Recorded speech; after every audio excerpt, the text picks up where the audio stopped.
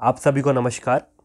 आयुर्गंगे channel के माध्यम से आज जो हम पढ़ेंगे, वो मुख्य तौर पर हम आज दंतगत रोग पढ़ेंगे। दंतगत रोग व दंत मूलगत रोग दोनों अलग अलग हैं तो आज हम विशेष तौर पर जो बात करेंगे, वो दंतगत रोगों की बात करेंगे, जो कि शालक के तंत्र के अंतर्गत काफ़ी विशेष एक टॉपिक है अपना। इससे हमारा लॉन्ग क्वेश्चन आ सकता है तो हम इन्हीं के बारे में विशेष तौर पर बात करेंगे। तो दंत रोगों को हम स्टार्ट करें, उससे पहले हम बेसिक चीज़ों को देखेंगे। जैसे दंत की उत्पत्ति कहाँ से कैसे बताई गई है? तो दंत की जो उत्पत्ति बताई गई है वह अस्थि व मज्जा धातु से बताई है जो कि आचार्य वाघभट जी ने बताई है। इसके अलावा जो दंत के भेद हैं वो मुख्य तौर पर दो प्रकार से डिवाइडेड किए गए हैं एक उत्पत्ति के आधार पर और एक उनके स्वरूप यानी कि उनका स्ट्रक्चर और उनका जो कार्य उनका फ़ंक्शन है उसके बेसिस पर। तो जो उत्पत्ति के आधार पर है वो दो प्रकार के होते हैं जिसमें कि एक आपका शक्रजात और दूसरा द्विज होता है। सक्रत जात का मतलब होता है जो क्या? केवल एक ही बार उत्पन्न होते हैं तो वो आठ होते हैं संख्या में। और द्विज का मतलब होता है कि जो हमारे पूरे लाइफ में दो बार होते हैं उत्पन्न, उनको द्विज बोला जाता है। तो उनकी संख्या ट्वेंटी फोर होती है, इसलिए जो टोटल दंतों की संख्या बताई गई है, twenty four plus eight is equal to thirty two तो बत्तीस हमारे कुल दंत होते हैं। अब हम बात करते हैं मुख्य तौर पर स्वरूप और कार्य के आधार पर। तो उसमें आपका राजदंत, बस्त दंस्ट्रा और हनवे। इस तरीके से चार यहाँ पर हमारे आते हैं, जो दंतों के विशेष यहाँ पर प्रकार बताए गए हैं। जो राजदंत और यहाँ पर बस्त है, उनको इंसीजर से हम ले सकते हैं। राजदंत जो है, वो सेंट्रल इंसीजर होते हैं और बस्त जो होता है, उनको लेटरल इंसीजर से लिया जा सकता है कंसिडर कर सकते हैं। और दंस्ट्रा उनको कैनिन बोल सकते हैं और हनवे को मोलर्स एंड प्री मोलर्स के साथ में कोरिलेट कर सकते हैं। उसके अलावा हम इनके भेद अगर देखें तो भेद का मतलब है रोग के भेद। दंत रोग जो बताए गए हैं, वो किस आचार्य ने, कितने बताए हैं? तो सबसे पहले आचार्य सुश्रुत, जिनको हम विशेष तौर पर डिस्कस करेंगे, आठ बताए हैं। उसके अलावा आचार्य वाघभट जी ने दस बताए हैं, योग रत्नाकर जी ने आठ बताए हैं और शारंगधर जी ने दस बताए हैं। तो इस तरीके से ये एक सिक्वेंस है जो कि हमारे विभिन्न विभिन्न आचार्यों ने बताया है। आठ, दस आठ, दस। सुश्रुत ने जो विशेष तौर पर आठ बताए हैं आचार्य सुश्रुत जी ने, उनके बारे में हम विशेष तौर पर डील करेंगे। तो चलिए स्टार्ट करते हैं। आज की जो हमारी विशेष टॉपिक की चर्चा है, उसके बारे में हम बात करेंगे। सारे के सारे जो भी मेरा ये पूरा का पूरा वीडियो रहेगा नोट्स फॉर्म में ही रहने वाला है तो आप आराम से इस वीडियो को देखते चलिए। और जैसे ही आपको कुछ भी यूज़फुल लगे हमारी वीडियो में तो हमारे चैनल को सब्सक्राइब भी ज़रूर कीजिएगा, जिससे कि आपको भी हेल्प मिले और हमें भी थोड़ी बहुत हमारे चैनल को ग्रो करने में हेल्प मिले। तो अब स्टार्ट करते हैं दंत रोग। तो दंत रोग मुख्य तौर पर आचार्य सुश्रुत ने आठ बताए हैं। उनके कौन कौन से वो आठ हैं तो देखिएगा उनके लिए क्या लिखा हुआ है। दंत गतास्तु दालन कृमि दंत को दंत हर्षो भंजनकम शर्करा कपालिका श्यावदंत को हनु मोक्षश्चैति इस तरीके से करके आपके दिए हुए सुश्रुत निदान 16 में ये श्लोक का पूरा दिया हुआ है। उसमें आठ प्रकार के दंत रोग कैसे कैसे हैं? तो सबसे पहला नाम आता है दालन, फिर कृमि दंत, फिर दंत हर्ष भंजनक दंत शर्करा कपालिका श्यावदंत एंड हनुमोक्ष। इस तरीके से ये आठ नाम आप यहाँ पर देख पा रहे होंगे। अगर आप इनको श्लोका से याद करेंगे, वैसे तो कोई ज़्यादा दिक्कत नहीं होती, श्लोकाराम से याद हो जाता है, बट अगर आपको नहीं हो पा रहा है तो इसकी एक ट्रिक आपके सामने स्क्रीन पर आपको दिख रही होगी। दाल व शर्कर, दाल व शक्कर के कप में श्याव कृमि है हर्ष भाई। ठीक है? मतलब हर्ष भाई को आप बता रहे हैं कि दाल और जो शक्कर के कप हैं, उसमें काले रंग के, यानी कि श्याव कलर के कृमि है हर्ष भाई।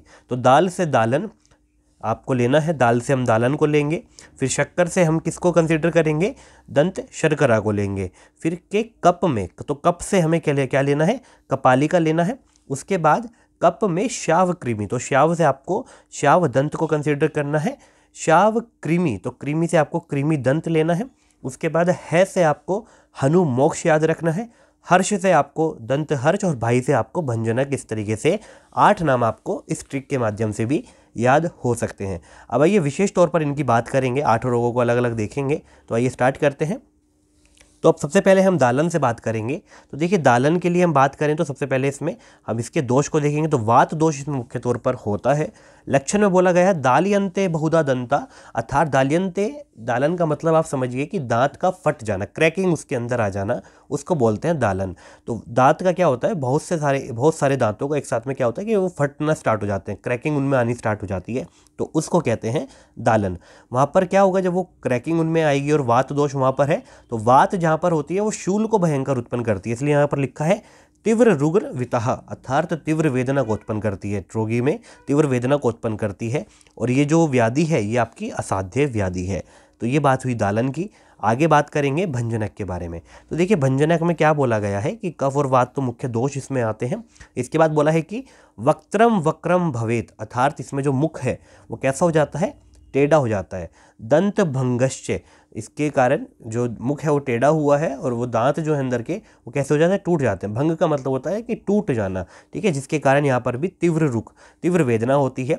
तो वहाँ पर आपने देखा दालन में क्या था कि दांत तो थे वहाँ पर, बट उसमें क्रैकिंग आ रही थी, ठीक है? उनकी जगह पर, इनके बीच में क्रैकिंग, जैसे कि एक दांत है और इसके बीच में यहाँ से क्रैकिंग आ जाना, या यहाँ पर अलग सी क्रैकिंग आ जाना। अब यहाँ पर क्या हो रहा है कि आपका जो स्ट्रक्चर है टीथ तो है आपका, पर उस टीथ में क्या हो जा रहा है कि थोड़ा सा पार्ट उसका डिके हो जा रहा है। मान लीजिए, इतना पार्ट टूट गया तो ये क्या होता है, दोबारा से बनता नहीं है। इसलिए इसको भी असाध्य बता दिया गया है। तो ये बात हुई है भंजनक और दालन के बारे में। आगे अब हम बात करेंगे तो शावदंत के बारे में हम बात करेंगे। शावदंत में पित्त और रक्त मुख्य तौर पर देखने के लिए मिलता है। तो क्या होता है इसमें कि जब पित्त और रक्त का प्रकोप होता है तो दंत में क्या हो जाता है, दग्ध हो जाता है। दंत में ऐसा लगता है कि जला दिया है दांत को, उसमें दग्ध उत्पन्न हो जाता है। जिसकी वजह से जो दंत है, वो कैसा हो जाता है? श्याव या नील वर्ण का हो जाता है। ये भी आपका असाध्य है। डिस्कलरेशन जो आपका दंत का हुआ, वो भी आपका कैसा हो जाता है? असाध्य हो जाता है। उसके बाद देखिएगा, दंत शर्करा की बात करेंगे। दंत शर्करा में कफ और वात मुख्य दोष।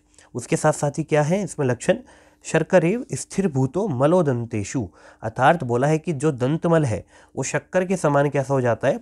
हमारे दंत पर स्थिर हो जाता है, रुक जाता है, ठीक है? जैसे शक्कर होती है, शर्करा होती है, उसके समान हमारे क्या होता है? दांत पर रुक जाता है, जिससे कि हमारा जो दंत है, वो गुण हरी विगय, उसके लिए बोला गया है कि दंत के जो गुण है, वो कैसे हो जाते हैं? नष्ट हो जाते हैं।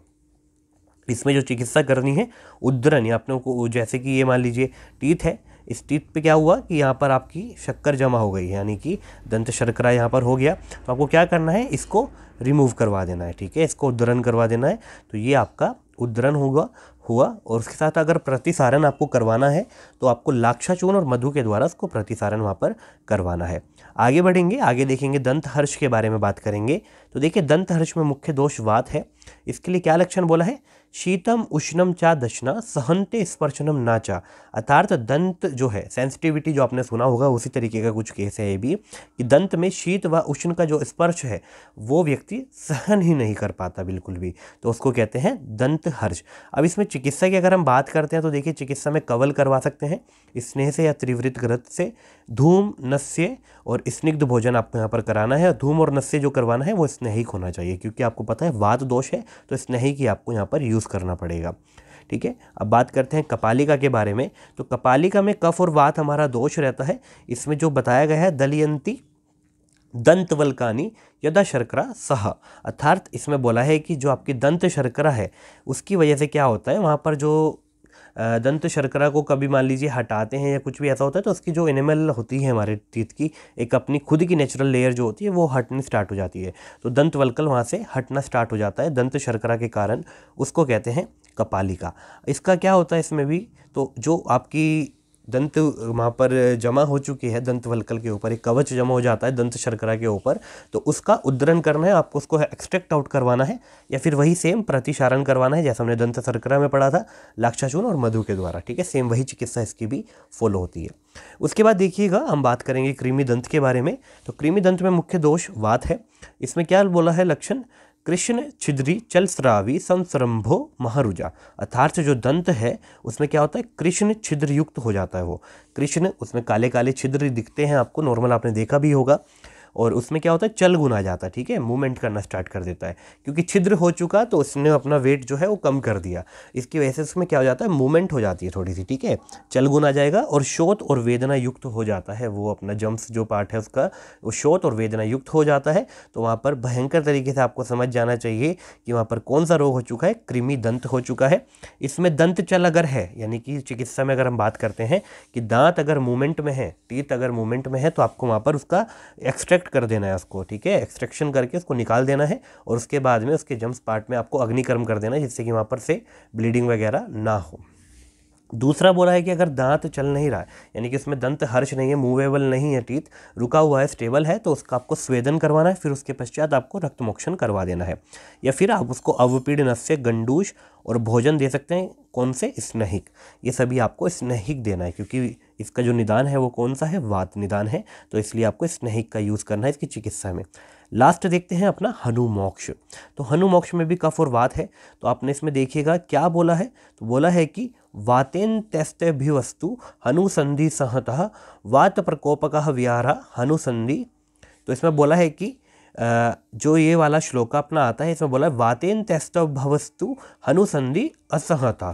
तो यहाँ बोला है कि जब वात प्रकोपक आहार विहार व्यक्ति कोई करता है, विहार में मुख्य तौर पर ज़्यादा हंसना, ज़्यादा बोलना, तेज़ी से बोलना, ठीक है ज़ोर ज़ोर से चिल्लाना, ये सब चीज़ें अगर कोई करता है तो उस टाइम पे क्या हो जाता है कि हनुसंधि अपने आप में मुक्त हो जाती है। ठीक है, जो आपका जॉइंट है, हनुसंधि वाला वो, कैसा हो जाता है, अपने आप से फ्री हो जाता है, उसको कहते हैं हनुसंधि या फिर हनु मोक्ष, ठीक है?